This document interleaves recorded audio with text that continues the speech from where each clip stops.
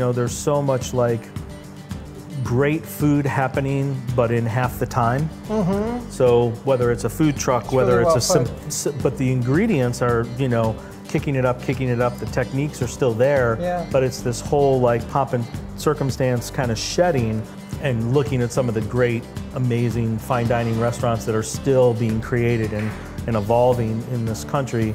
It's very, very special. But people are going very simple and delicious and mainstream and um, and if I can get the most incredible barbecue in a food truck on my lunch break, or an incredible homemade Italian sausage with killer bread, you know, Right. that's awesome.